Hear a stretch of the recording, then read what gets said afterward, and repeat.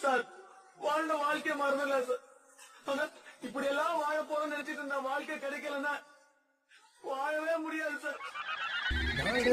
நடக்கிவிட்டு நடந்து சும்மால் வேறதை போகிறேன். மின்னலகு மின்னியை தேடி வந்து சுட்டதினான் இருந்தும்